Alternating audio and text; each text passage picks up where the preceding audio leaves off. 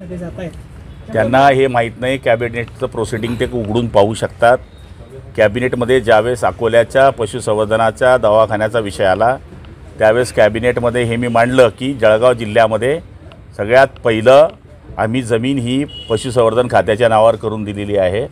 तर तुम्ही अकोल्याला मंजुरी देण्याबद्दल आमचं दुमत नाही पण पहिले जळगावचं काय तर येणाऱ्या मंगळवारीच्या कॅबिनेटमध्ये तो विषय घ्यावा. असे निर्देश मुख्यमंत्री आणि उपमुख्यमंत्र्यांनी दिलेले आहे त्यामुळे ते सुद्धा माजी मंत्री राहिलेले आहेत.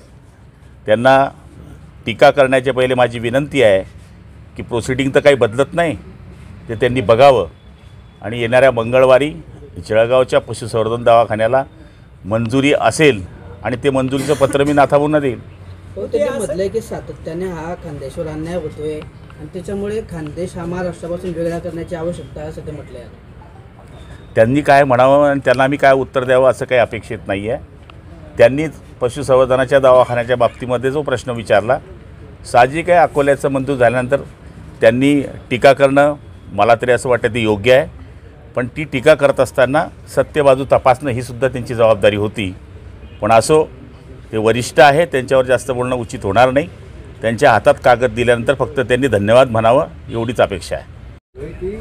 प्रकल्प झाले पण अजून पण अपूर्ण आहेत कोणीही पाठपुरावा सगळ्यात जास्त मंत्री कोण होते? अपोजिशन लीडर कोण होते? असं जर प्रश्न विचारला तर मग काय होईल? मला एकमेकावर प्रश्न उत्तर करायचं नाही. शेळगाव बॅरेज पूर्ण झालेला आहे. महाराष्ट्रामध्ये पाईपाने पाणी देण्याचा पहिला प्रकल्प हा जळगाव ग्रामीण आणि जामनेर मतदारसंघामध्ये होतो आहे त्याच्यामध्ये हजारो हेक्टर जमीन आज सिंचनाखाली येणार आहे. तिथे जमिनीचे किती उपद्रव झाला तर आपल्याला माहिती आहे. पण चारीद्वारे पाणी न देता पाईपाद्वारे पाणी देण्याचा पहिला प्रकल्प हा जळगाव जिल्ह्यामध्ये झाला याचाही उल्लेख त्यांनी करायला पाहिजे होता पण तो केलेला नाही आहे. हा त्यांच्या काळापासून बुडीत क्षेत्रामध्ये होता. त्याला एकशे बहात्तर कोटी रुपयाची मंजुरी दिली नाही तर आज काम सुरू आहे. नुसतं बोलायचं म्हणून बोलायचं नाही.